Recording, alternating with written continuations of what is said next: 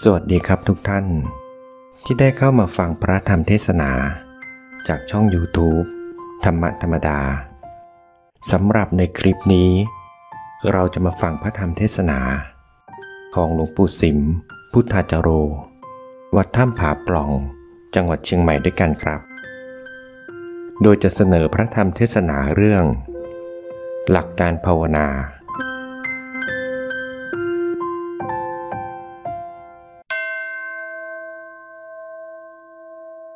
นะโมตัสสะภะคะวะโต อะระหะโต สัมมาสัมพุทธัสสะนะโมตัสสะภะคะวะโต อะระหะโต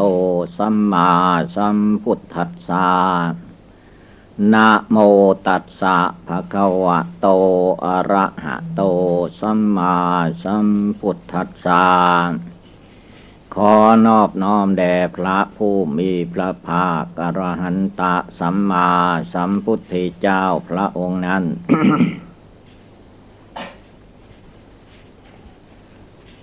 ณโอกาสนี้ไปเป็นโอกาสฟังธรรม และเป็นการปฏิบัติบูชานั่งสมาธิภาวนาด้วย การนั่งสมาธินี้ต้องให้พากันแก้ไข อย่าให้เป็นการนั่งสมาธิหลับ นั่งสมาธิหลับหรือนั่งสมาธิอ่อนแอ อย่างนั้นใช้ไม่ได้ บางองค์ก็เอนไปจนกระทั่งพุบลงไปข้างหน้านอนหลับเหมือนกับนอนในหมอน อย่างนี้แล้วว่าไม่ใช่สมาธิภาวนาในทางพุทธศาสนา การนั่งสมาธิภาวนาให้พากันดูตัวอย่าง พระพุทธรูปที่ท่านนั่งสมาธิภาวนานั้นท่านนั่งตัวตรง ไม่ได้เอียงซ้ายเอียงขวาเหมือนคนเรา หรือว่าสมัยพระพุทธเจ้านั่งภาวนาใต้ต้นไมโพนั้น ไม่ใช่ท่านนั่งเป็นนั่งหลับ นั่งสบาย ท่านนั่งภาวนาจริง ๆ เรียกว่าบังคับกายวาจาจิตของพระองค์ ให้อยู่ในท่าสมาธิภาวนา และไม่เฉพาะเวลาหนึ่งเวลาใดด้วย อย่างในคืนวันที่พระองค์ จะได้ตรัสรู้นั้น แม้จะได้ตรัสรู้แล้วพระองค์ก็ไม่ได้ย่อหย่อนท้อถอย แล้ววันนั่งตลอดวันตลอดคืน ไม่ใช่เรื่องเล็กน้อย เราจะไปเข้าใจว่านั่งพอเป็นวิธีการ แล้วอยากหลับก็ปล่อยให้มันหลับไป อยากไหลก็ปล่อยให้มันไหลไป อย่างนี้ไม่ถูก ที่ท่านให้นั่งขัดสมาธินั้น แสดงออกซึ่งความองอาจกล้าหาญในทางร่างกาย แล้วทางจิตทางใจก็ไม่ให้คิดฟุ้งซ่านไปที่อื่น จึงมีบริกรรมภาวนา บทใดบทหนึ่งเป็นเครื่องยึดเหนี่ยวไว้ในใจ รวมจิตรวมใจของตนให้เข้ามาภายใน ไม่ให้อยู่ภายนอก ไม่ให้ออกไปหาอารมณ์ภายนอก เวลาภาวนา เป็นเวลาเอาจิตเอาใจเข้ามาภายใน แม้จะมีความคิดนึกปรุงแต่งอะไรอยู่มากมายหลายอย่างหลายประการอย่างไรก็ตาม สิ่งที่เป็นอดีตอนาคตนั้น ต้องเลิกละตัดปลดปล่อยออกไปให้หมดสิ้น คนอื่นผู้อื่นสิ่งอื่นภายนอกไม่ให้เข้ามาเกี่ยวข้องในจิตในใจของตัวเอง เวลานั่งภาวนา เอกังจิตตังทำจิตให้เป็นดวงเดียว เอโกโพริโสเป็นชายคนเดียวเป็นหญิงคนเดียว ไม่ให้ไปเกี่ยวเกาะกังวลกับเรื่องใดๆทั้งหมด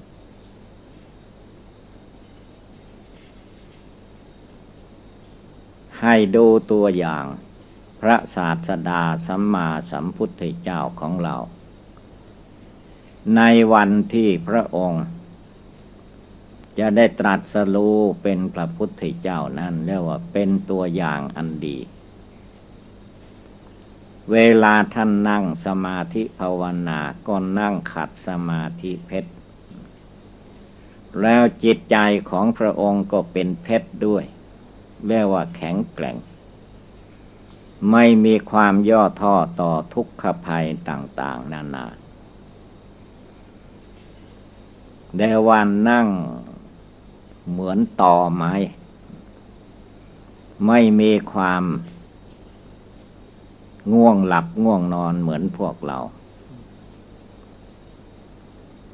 ถ้าหาว่าพระพุทธเจ้าไปมัวนั่งหลับเหมือนพวกเรา ที่ไหนจะได้ตรัสรู้เป็นพระพุทธเจ้า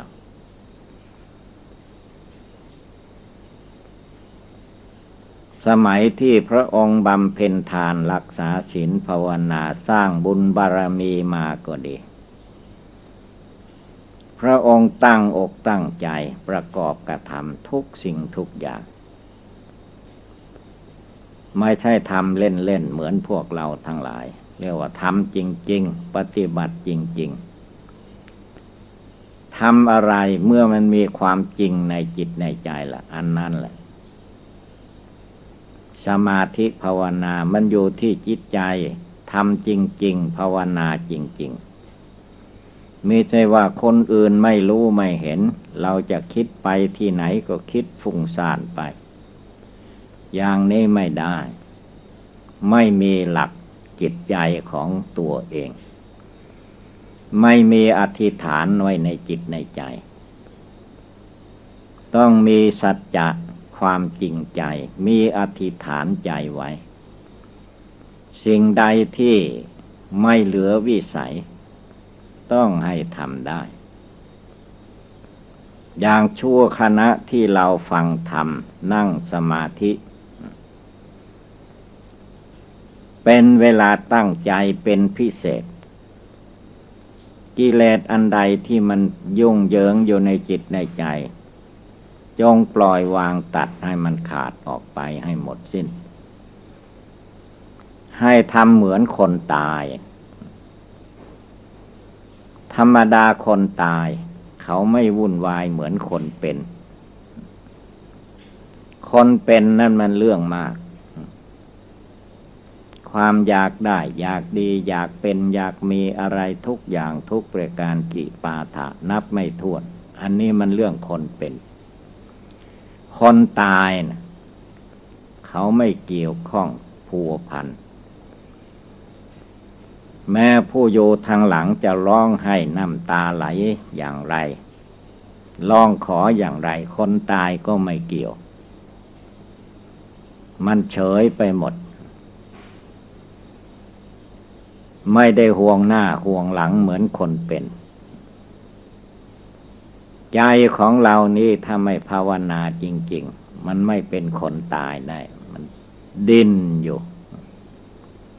กามตัณหาความรักใคร่พอใจในรูปเสียงกลิ่นรสโพธพะธรรมลมก็วุ่นวายอยู่ในใจ มันไม่สงบมันไม่ตายทำเฉยไว้เหมือนคนตาย เหมือนของตาย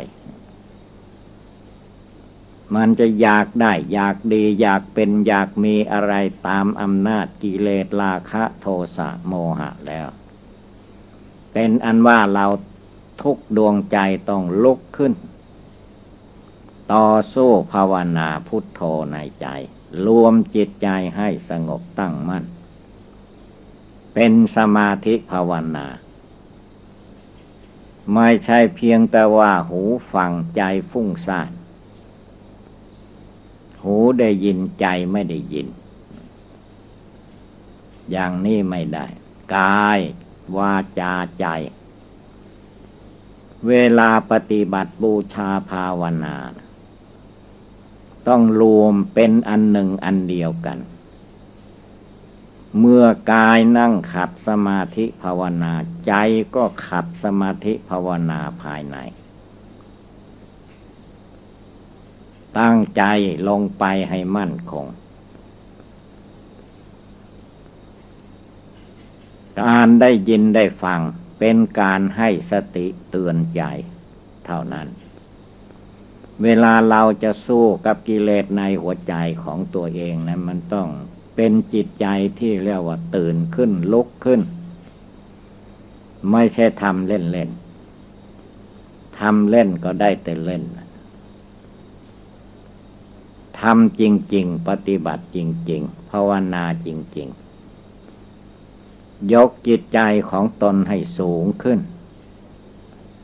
ให้ดีขึ้น นอกจากรักษาสินห้าสินแปดสินสิบสองร้อยยี่สิบเจ็ดแล้ว ก็ต้องมีการ นั่งสมาธิภาวนา ให้มันมีความเข้มข้นขึ้นไปโดยลำดับลำดับ บวชมาหลายปี ได้แต่อายุได้แต่พรรษา สติปัญญาวิชาความรู้ในจิตในใจ มันไม่ก้าวหน้า มันถอยหลังเข้าคลองอยู่เรื่อย อย่างนี้ไม่ได้ มันต้องเลื่อลึกถึงพระพุทธเจ้า พระพุทธเจ้าพระอริยเจ้าทั้งหลายนั้น ท่านภาวนาท่านมีความก้าวหน้าไป ไม่ไม่ใช่ถอยหลังเข้าคลอง ภาวนาวันหนึ่งคืนหนึ่งก็ให้มันก้าวไปโดยลำดับลำดับ ความเกียดค้านท้อถอย ความท้อแท้อ่อนแอในดวงจิตดวงใจ ไม่ให้มีในใจของผู้ปฏิบัติ ให้มีความก้าวหน้าเจริญไป ดูตัวอย่างพระพุทธเจ้า พระองค์ทำก้าวหน้าให้เราท่านทั้งหลายเห็น อย่างว่าวันที่พระองค์นั่งสมาธิภาวนาในวันเดือนหกเพน เดือนหกเพนหมายถึงพระจันทร์เต็มดวง ของเดือนนั้น พระจันทร์เต็มดวงนั้น หมายถึงความแจ้งความสว่าง ไม่ใช่ความมืด พระองค์ทำความแจ้งความสว่างให้ปรากฏ วันนั้นพระองค์นั่งขัดสมาธิเพชรเสร็จเรียบร้อยแล้ว พระองค์ก็ตั้งสัตว์อธิษฐานในใจของพระองค์ ไม่มีใครไปบอกท่าน ท่านทำเอง ว่าการนั่งสมาธิภาวนาครั้งนี้ จะไม่ทอดแท้อ่อนแอในหัวใจ จะเอาชีวิตเป็นแดนสุดท้าย แม้เลือดเนื้อเชื่อไขจะเหือดแห้งไปเหลือแต่หนังหุ้มกระดูกก็ตามที มันจะตายก็ยอมตายในที่นั่งนี้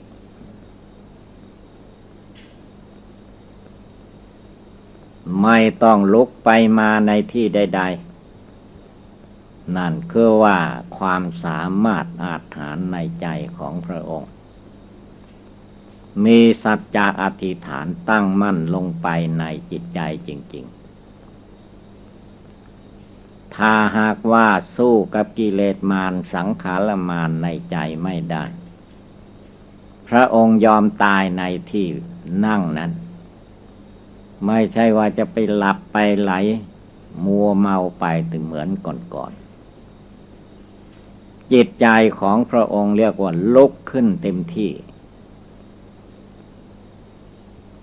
ไม่ใช่โยในที่เก่าเรียกว่าตายก็ยอมตาย จะมีภัยอันตรายพ่องผ่านเข้ามาก็ไม่กลัว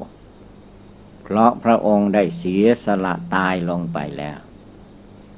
ความเจ็บปวดทุกขเวทนา ในรูปประขัน มันก็เป็นธรรมดาเหมือนพวกเราทั้งหลายนั่นแหละ เพราะว่าเนื้อหนังมังสังของมนุษย์ กระดูกเส้นเอ็นของมนุษย์เหมือนกัน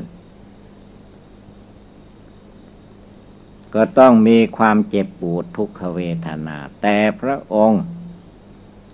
เป็นผู้มีความอดทน มันจะเจ็บขนาดไหนก็ตาม อดทน ขันติขันติความอดทนในใจของพระองค์ เต็มบริบูรณ์แล้ว ความภาคความเพียรความพยายาม พระองค์ก็มีพร้อมมูลบริบูรณ์ ปัญญาวิชาความรู้เท่าทัน กิเลสมารสังขารมารท่านก็รู้เท่าทันแต่ว่าท่านลุกขึ้นต่อสู้ในใจ ไม่เฉพาะแต่ในใจทั้งกายท่านก็สู้ด้วย ท่านไม่ลบหลีก เวลามานกิเลส ขันธมาน เมื่อความเจ็บปวดทุกขเวทนาบังเกิดมีขึ้นในสังขารร่างกาย พระองค์ก็ไม่เข้ามายึดมาถือว่าพระองค์เป็นผู้เจ็บธาตุดินเขาเจ็บช่างมัน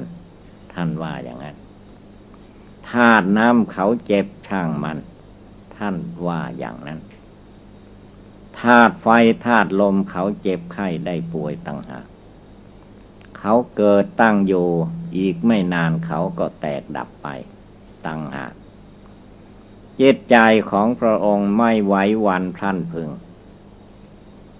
ตายก็ให้ตายด้วยการหมดกิเลสราคะโทสะโมหะ ไม่ใช่ตายเลี่ยลาดเหมือนคนเราในโลก คนเราในโลกเรียกว่าตายเลี่ยตายลาดตายทัดผากจากของรักของชอบใจวุ่นวาย ไม่มีจิตใจอันผ่องใสสะอาด เพราะไม่ภาวนาทำความเพียรละกิเลสในจิตในใจเหมือนพระพุทธเจ้า เหตุนั้นการนั่งสมาธิภาวนา เราท่านทั้งหลายให้พากันลำลึกเตือนจิตเตือนใจของตัวเองขึ้นมา อย่าไปเพียงแต่ว่าทำอะไร ก็ทำได้แบบโบรมโบราณเท่านั้น พอเป็นพิธีการ ปล่อยปะละเลยขาดสติสัมปชัญญะ ขาดสมาธิจิตตั้งมั่น ขาดปัญญา ความเฉลียวฉลาดความสามารถในจิตในใจ ยอมไม่ได้ไม่ถึงเป็นไปไม่ได้ พระพุทธเจ้า ในวันที่พระองค์ นั่งสมาธิภาวนา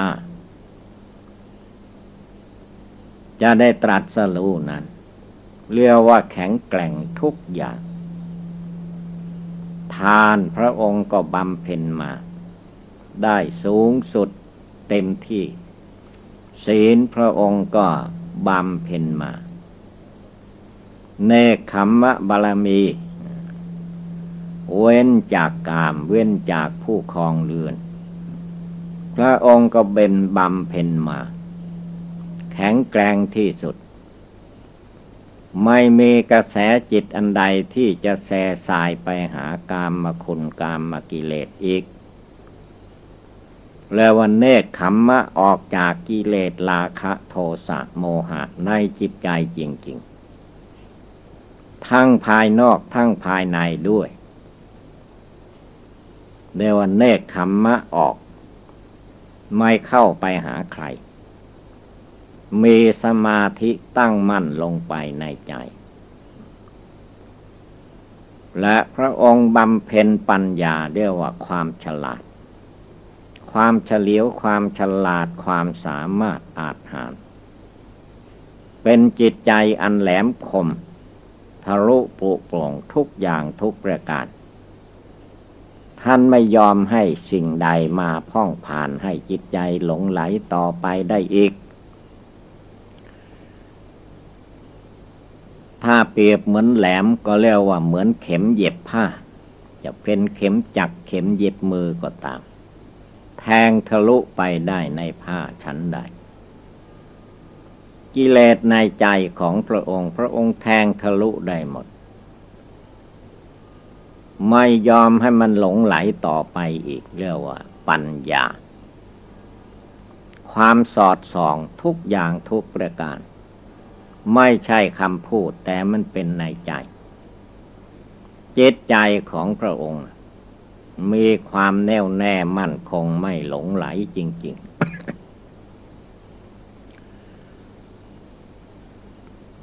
แต่นี่ความภาคความเพียรความพยายาม ท่านก็ไม่ท้อแท้อ่อนแอในดวงใจเดียว่าตั้งใจอย่างไรก็ตั้งใจอย่างนั้น ภาวนาอย่างไรท่านก็เอาจริงอย่างนั้น เมื่อเลือกทำภาวนาอนาปานุสติกรรมฐานได้แล้ว พระองค์ก็มั่นใจ ทุกลมหายใจเข้าออก ตามรู้โยในดวงใจว่าลมผ่านเข้าไป ยาวหรือสั้นหยาบหรือละเอียด ตามรู้อยู่ในที่นั้น ลมออกมา ยาวสั้นหยาบละเอียด ตามรู้อยู่ในดวงจิตดวงใจ ไม่ใช่โลเลหลงไหลไปกับคนสัตว์วัตถุธาตุทั้งหลายนำใจของพระพุทธเจ้าแนวโยที่อนาปาลมหายใจ จนกระทั่งจิตใจที่ล่วไหลไปอย่างก่อนๆไม่มี ดวงจิตผู้รู้โยที่ไหนพระองค์ก็ตั้งมั่นอยู่ในที่นั้น จนเห็นแจ้งชัดอยู่ในจุดจิตใจของพระองค์ว่านอกจากจิตใจดวงที่รู้อยู่นี่ออกไปทั้งหมดทั้งมวลไม่เที่ยงทั้งหมดเป็นทุกข์ทั้งนั้น ไม่ใช่ตัวตนของเรา ขึ้นชื่อว่าสังขารทั้งหลาย มีความไม่เที่ยงแท้แน่นอนทั้งหมด จิตของพระองค์ก็บริสุทธิ์ผ่องใส สะอาดปราศจากกิเลสเรียกว่านั่งใจเบากายเบา ไม่ใช่นั่งหนัก นั่งเบานั่งสบาย ทุกขเวทนาสุขเวทนา เฉยเฉยเวทนาเข้ามาคุกคามจิตใจของพระองค์ไม่ได้ เจตใจของพระองค์แล้วว่าสูงส่ง สามารถอาจหาร มีความอดความทน มีความสัตย์ความจริง มีสัจจะอธิษฐาน มีเมตตากรุณามุทิตาอุเบกขา ในจิตใจของพระองค์จริง ๆ อะไรอะไรทุกสิ่งทุกอย่างท่านม้วนลงไปว่า โลภนามกายใจนี่ก็ตามรูปนอกคนสัตว์วัตถุธาตุทั้งหลายในโลกก็ตาม มันไม่เหลือหลักสามประการ คืออนิจจังอนิจจาความไม่เที่ยง ทั้งหมด นำพระทัยใจพระพุทธเจ้าแจมแจ้งภายใน ทุกขังสิ่งที่มนุษย์โยอาศัย ดิ้นรนวุ่นวายอยู่ ไม่นอกไปจากความทุกข์ มันเรื่องความทุกข์ทั้งเพเรื่องความทุกข์ทั้งนั้น ยินดียินลายอะไรทุกอย่างมันเรื่องทุกข์ท่านไม่หลงไหลไปกับ อารมณ์เรื่องราวเหล่านี้ ท่านแจ้งในอกในใจอยู่แน่ว่าแจ้งใจไม่ใช่แจ้งลืนตา ไม่ใช่แจ้งดวงพระทิตพระจันทร์ไม่ใช่แจ้งดวงไฟฟ้า ไม่ใช่แจ้งดวงไฟ ใจมันแจ้ง ใจมันแจ้งชัดว่า มีรูปนามกายใจตัวตนสัตว์บุคคลอยู่ที่ไหน ก็ต้องมีความทุกข์อย่างนี้อย่างนี้ เห็นแจ้งอยู่ตลอดเวลา จะต้องมีความไม่เที่ยงแท้แน่นอนอย่างนี้จิตอย่าได้มาหลงไหล นามพระทัยใจพระพุทธเจ้าก็ย่อมสงบระงับ ตั้งมั่นเป็นสมาธิภาวนา ไม่ใช่คนอื่นมาตั้งให้ เป็นจิตใจของพระองค์ตั้งมั่นลงไปในจิตใจนี้ดวงจิตดวงใจของพระองค์ก็มั่นคงหนักแน่นแน่ว่าเหมือนพื้นแผ่นดิน ดูพื้นแผ่นดินที่เรานั่งภาวนาอยู่สิ ใครจะนั่งมากน้อยขนาดไหนก็ตาม แผ่นดินก็ตั้งมั่นอยู่น้ำพระทัยใจพระพุทธเจ้ามีความตั้งมั่นอยู่ใน สมถกรรมฐานวิปัสสนากรรมฐาน จึงสามารถอาถานตัดบวงห่วงอาลัยกิเลสตัณหามานะทิฏฐิ อันมีอยู่ในกายวาจาจิตของพระองค์เก่าแก่เหล่านั้น หมดสิ้นไปในคืนวันนั้น ไม่มีอะไรเสียดายตายอยากใครจะเป็นอย่างไรก็เป็นไป ใครจะเกิดก็เป็นเรื่องของคนเกิดคนหลง ใครจะตายก็เป็นเรื่องของคนตาย จิตใจของพระองค์ไม่ไหววันท่านพึงไปตามคนสัตว์วัตถุธาตุทั้งหลาย เรียกว่าพระองค์ตัดได้ขาด มีจิตสามารถอาหาร จริงๆอย่างนั้นเราทุกลมหายใจเข้าหายใจออกยาได้มัวเมาประมาทมรณงเมภาวิสติ เราต้องตาย เราต้องตายภายในร้อยปี ไม่มีบุคคลใดจะอยู่ชั่วฟ้าดินสลาย ไม่ตายไม่มี เราเกิดมาอย่างนี้แล้วชลาพยาธิมันติดตามอยู่ตลอดกาลเมื่อชลาความแก่พยาธิความเจ็บไข้ มาเตือนเราท่านทั้งหลายเป็นคราวๆอยู่ มรณงเมภาวิสติเราต้องตายนั้น มันเป็นความแน่นอน ไม่มีใครจะผลัดวันประกันพุ่งได้ บางคนก็ร้องขอจากพญามัจจุราชคือความตาย ว่าข้าพเจ้ายังเด็กอยู่ ยังไม่อยากตายขอไว้ อย่าให้ตาย มันได้ที่ไหน เด็กเด็กเกิดวันนั้นตายวันนั้นก็มี เกิดเดือนนั้นตายเดือนนั้นก็มี ตายเกิดปีนั้นตายปีนั้นก็มี ถ้ามันร้องขอได้มันก็คงไม่มีตายมีมันร้องขอไม่ได้มันจึงตาย ตายเราอย่าไปเห็นว่าคนอื่นตายอย่างเดียว เมื่อคนอื่นตายได้ตัวเราก็ตายได้เหมือนกัน มรณงเมภาวิสติ นึกให้ได้เจริญให้ได้ เพราะว่ากรรมฐานข้อนี้นั้น ผู้ใดเจริญ จนทราบซึ่งตึงใจ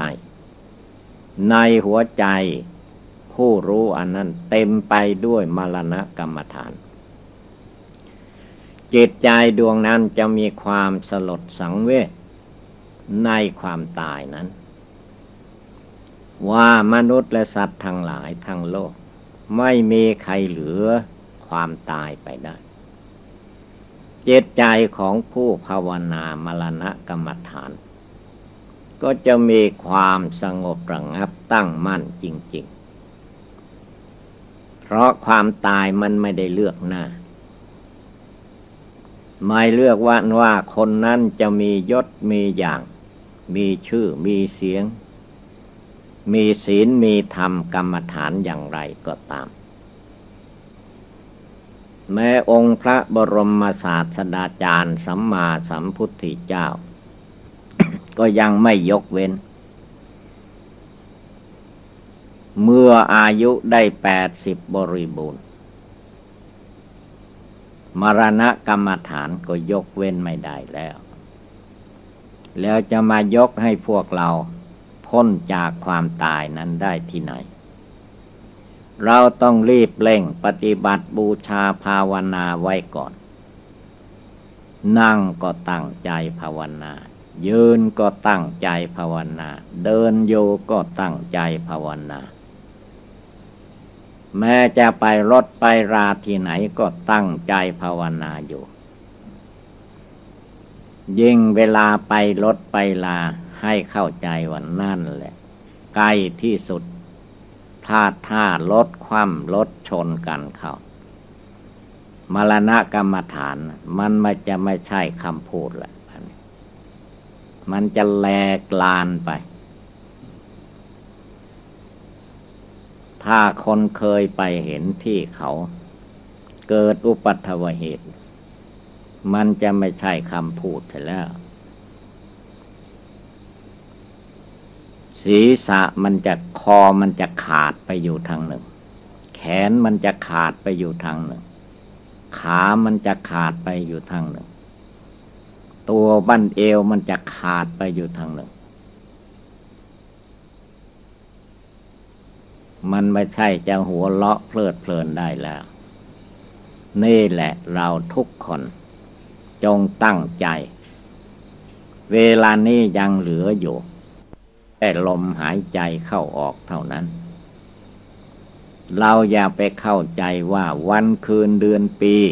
ปีนั้นปีนี้เป็นอายุของเรารอบปีก็ได้ปี อันนั้นวันคืนเดือนปีนับเอาเท่าไรก็ได้ แต่อายุชีวิตจริงๆนะ่ะมันเหลืออยู่แค่ลมหายใจเท่านี้ถ้าลองลมหายใจจบลงไป หายใจไม่ได้ อะไรจะเกิดขึ้น ก็ตายนั่นสิ นี่แหละท่านว่ามรณงเมภาวิสติ เราต้องตาย เมื่อเราตายได้คนอื่นผู้อื่นก็ตายได้เหมือนกัน พ่อแม่ปู่ย่าตาทวดของเรา สามีภรรยาลูกเต่าหลานเหลนก็ตายได้เหมือนกัน เมื่อความตายเช่นนั้นเข้ามาถึง ตัวเราใจเรา ใจเราจะเป็นอย่างไร ก็วันไหวสิ เพราะไม่ตั้งใจภาวนาเดี๋ยวนี้ขณะนี้ลงไป ก็จะมาร้องคางให้ความตายว่ายังไม่สมควรเลย ยังเด็กอยู่ทำไมมาตายก่อนพ่อแม่ปู่ย่าตายาย ไม่ได้ทั้งนั้น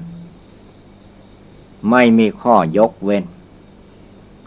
มีอยู่อย่างเดียวผู้ใดยังมีลมหายใจเข้าออกอยู่อย่างขณะนี้เวลานี้ เป็นสิทธิของเราที่จะต้องภาวนาบริกรรมทำใจให้สงบตั้งมั่น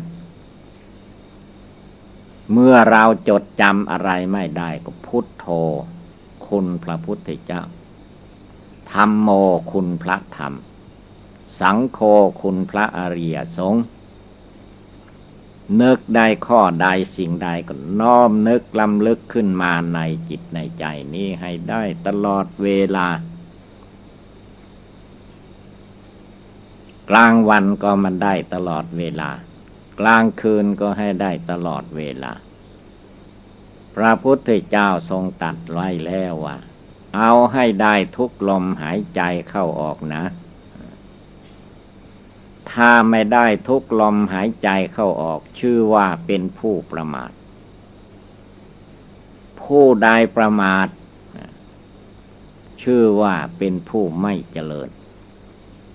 ผู้ไม่ประมาทนั้นทันว่า นึกได้ภาวนาได้ รวมจิตใจนี้อยู่ได้ทุกลมหายใจเข้าออก ยังมีลมเข้าออกอยู่ใจก็มั่นคงลงไป ในสมัยครั้งพุทธกาลพุทธสาวก แรกก็เรียกว่าพระองค์โปรดปัญจวคีลือสีทั้งห้าให้ภาวนาทำความเพียรละกิเลส จนพระอัญญาโกนดัญญะได้สำเร็จเป็นพระโสดาปติผล เป็นพระอริยบุคคลเกิดขึ้นในพุทธศาสนา นั่นแหละคือว่าท่านตั้งใจ ใจท่านตั้งใจไม่นอน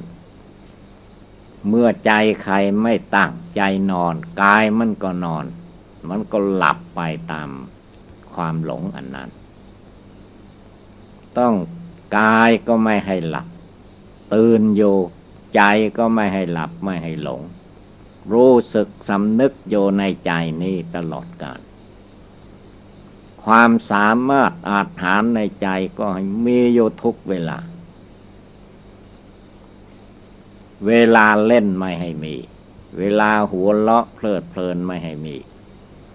มีแต่เวลาภาวนา ตั้งใจให้มั่นคง ไม่ให้เหมือนผีหลอก ธรรมดาผีหลอก มันหลอกลวง ให้จิตใจคนเราหลง กิเลสราคะเนี่ยมันผีหลอก กิเลสโทสะมันผีหลอก กิเลสโมหะมันผีหลอก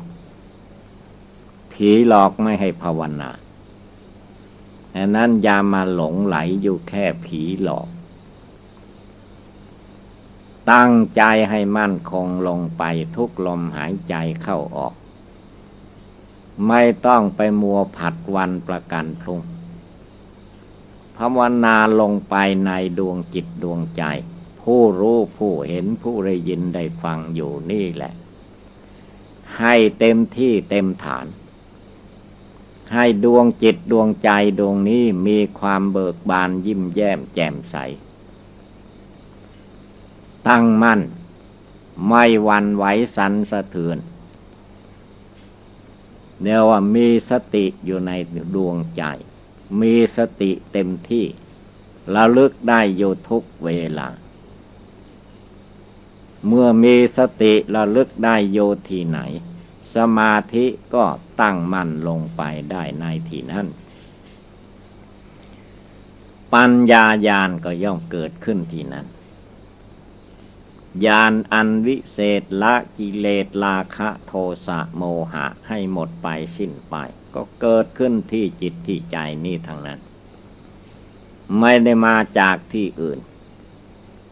ที่อื่นไม่มีมันมีอยู่หัวใจคนเรานี่เอง เมื่อกายวาจาใจ จิตใจเราอยู่ที่ไหน ตัวเราอยู่ที่ไหน นั่งอยู่ที่ไหน นั่งทำอะไร ในขณะนี้เวลานี้ นี่แหละ สมาธิก็ตั้งลงไปที่ตรงนี้ ความตั้งอกตั้งใจอันนี้แหละให้มีความหนักแน่นมั่นคงอย่าได้มีความย่อท่อต่อข้อปฏิบัติ ข้อปฏิบัติอันใด ที่เป็นไปเพื่อละกิเลสราคะโทสะโมหะ ก็ให้รีบทำรีบปฏิบัติ อย่าไปรอคนนั่น อย่าไปรอคนนี้ ตัวใครตัวมัน เวลาเกิดมาไปรอพร้อมใคร เวลาแก่ชราไปรอพร้อมใคร เวลาเจ็บไข้ได้ป่วย ไปรอไข่ เวลาตายรอใครได้ ไม่มีใครรอได้ เมื่อความตายมาถึงเข้า บุคคลผู้นั้นก็จำเป็นต้องตายไป จะมีความห่วงความอะไรอย่างไร ความตายไม่ได้ยกเว้น ไม่ได้ยกเว้นว่าเป็นหญิงเป็นชาย เป็นคฤหัสถ์และนักบวชไม่ได้ยกไว้ทางนั้น ตายได้ทุกคน ตายได้ทุกลมหายใจเข้า ตายได้ทุกลมหายใจออก อันผู้ปฏิบัติธรรมกรรมฐาน จงเป็นผู้สามารถอาหาร ในดวงจิตดวงใจของตนของตนอยู่เสมอ ไม่ต้องผัดวันเวลา เอาเวลาปัจจุบันเป็นการปฏิบัติ ถ้ารวมจิตรวมใจของตนลงไปในหลักปัจจุบันแล้ว ย่อมมีเวลาทำอะไรมีเวลาทำทางนั้น ภาวนาบทใดข้อใดก็ย่อมมีเวลาทางนั้น ไม่สงบไม่มี ไม่สงบมันจะไปอยู่ที่ไหน หัวใจมันอยู่ในร่างกายของเรานี่ใจมันอยู่ภายในนี้ เราตั้งใจบริกรรมภาวนา รวบรวมกำลังกายกำลังวาจากำลังจิตกำลังใจ กำลังศีลสมาธิปัญญา ตั้งมั่นลงไปที่กายวาจาจิตของเรานี่เอง ก็ย่อมเข้าใจในธรรมปฏิบัติ มันจะเจ็บปวดทุกขเวทนาอย่างไรก็ไม่ไปยึดถือ เจ็บอะไรมันไม่ถึงตาย มันไปถึงแค่ตายนั่นมันไม่เลยตายไปได้ จะไปวันไหวทำไม วันไหวแล้วมันได้อะไร เจ็บข้าก็ไม่วันไหว ตายข้าก็ไม่วันไหว เมื่อตายไม่วันไหวแล้ว ไม่มีอะไรที่จะเหนือนั่นไปได้คนเรานั้นคือว่าความอดทนความตั้งใจไม่มั่นคงพอ ยังไม่ถึงตายมันก็บ่นว่าตายแล้วตายแล้วนะคือว่าใจมันกลัวตาย กลัวแล้วมันไม่ตายเลยคนกลัวตายแล้วมันไม่ตายเลยความตายมันเป็นหลัก กรรมฐาน ที่จะต้องรู้ภายใน ที่จะต้องเห็นแจ้งปัจจตังจำเพาะจิตของตัวเอง อะไรมันตายอะไรมันเหลือตายธาตุดินมันตายธาตุน้ำมันตายธาตุไฟธาตุลมมันตาย ใจมันไม่ตาย วุ่นวายอยู่ในโลกในวัฏสงสาร วุ่นวายอยู่ในกามมาพบรูปประพบอรูปประพบวุ่นวายอยู่ด้วยกิเลสราคะโทสะโมหะ จิตมันจะไปตายอย่างไร จิตมันไม่ตาย เมื่อจิตไม่ตายเราจะไปกลัวมันทำไม นั่งภาวนาปฏิบัติบูชาภาวนาในจิตในใจ ให้มันเต็มที่ ร่างกายสังขาร มันเป็นเพียงโลกประขัน มีเหตุปัจจัยให้เกิดมีขึ้นมันก็เกิดขึ้น เมื่อเกิดขึ้นจเจริญวัยใหญ่โตมันก็ตั้งอยู่ชั่วระยะการเวลาหนึ่งเท่านั้นเอง อีกไม่นานมันก็ชำรุดชุดโทมไปตามสังขารนนั้นนั้นผลที่สุดรูปประขันนี้ มันเกิดมาจากผืนแผ่นดิน เวลามันตายก็ทับถมแผ่นดิน เผาไฟก็เป็นเท่าเป็นฐานเป็นแผ่นดิน ฝังดินก็ถมแผ่นดิน อยู่ในนี่แหละ เจตใจผู้รู้ผู้เห็นผู้ภาวนาอย่าได้มากลัวหวาดสะดุ้งต่อ มารสังขารมันโกหกพกลม มันหลอกลวง มันทำให้จิตใจหวั่นไหวสั่นสะเทือนอยู่ตลอดการเวลา ขณะนี้เวลานี้จึงเป็นเวลาสำคัญ ของนักปฏิบัติธรรมะ ไม่มีใครที่จะไปช่วยบุคคลผู้อื่นได้ ด้วยการตัวเองไม่ภาวนาไม่ได้ เดียวว่าตนเองเป็นที่พึ่งตัวเอง อัตตาหิอัตโนนาโถตนเป็นที่พึ่งของตน ตนบำเพ็ญภาวนา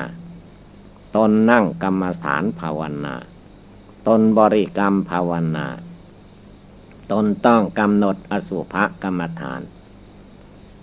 ในร่างกายสังขาร จนเห็นแจ้งแทงตลอด ตนต้องกำหนดได้ซึ่งมรณะกรรมฐาน แจมแจ้งชัดเจนภายในจิตใจนี่อยู่ จึงจะไม่หวั่นไหวสันสะเทือน ด้วยกิเลสราคะ มันกระทบมา กิเลสโทสะกระทบมา กิเลสโมหะกระทบมา จิตจะไม่หวั่นไหวสันสะเทือน ไม่มีความสะทกสะทานย่านกลัวต่อภัยอันตรายเหล่านี้ คือภาวนาให้มันข้ามไปพ้นไปแล้ว ไม่มายึดหน้าถือตา ไม่มายึดตัวถือตน ไม่มายึด ความสุขความทุกข์อันปรากฏการอยู่ในกายวาจาจิตนี้ เมื่อจิตใจไม่มายึดมั่นถือมั่น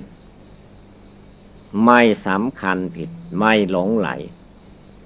มีความเพียรเป็นเบื้องหน้า มีความมุ่งมั่นปั้นหัวใจของตนอยู่ตลอดเวลา ไม่ว่าเวลาไหน นั่งเวลานั่งก็ภาวนา ปฏิบัติบูชา มีจิตใจเข้มข้นอยู่ตลอดกาลเวลายืนยืนภาวนาพิจารณาธรรมกรรมฐาน รวมจิตรวมใจเข้ามาภายในอยู่ เวลาเดินจมกลม เวลาเดิน เวลาไปเวลามาอย่างไรก็ตาม เจตใจผู้ตั้งมั่นในสมาธิภาวนานี้จะไม่มีวันพลั้งเผลอลุ่มหลงมัวเมา เป็นจิตใจอันแน่วแน่เด็ดขาดอยู่ในตัวในใจของตัวเอง นั่งใจก็สบาย นอนใจก็สบาย ยืนใจก็สบาย เดินไปไหนมาไหน จิตใจก็แสดงความสบาย แสดงความองอาจกล้าหาญไม่ย่อท้อต่อเหตุการณ์ใด ๆ ทั้งนั้น นั่นแหละสาวโกสาวกของพระพุทธเจ้า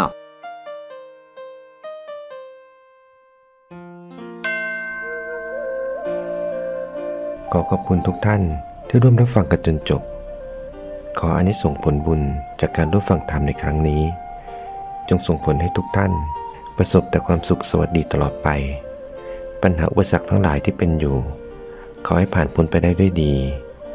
มีความสุขความเจริญยิ่งยิ่งขึ้นไปด้วยเทินสาธุ สาธุ สาธุ